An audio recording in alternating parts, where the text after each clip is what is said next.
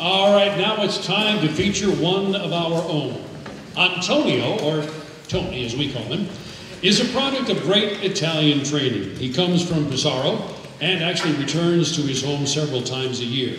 Well, last year, he represented Shoreline Community College at the Intercollegiate Honor Band in Reno, Nevada. Upon doing his audition, he was placed as the number one flute player in the group. That's as number one.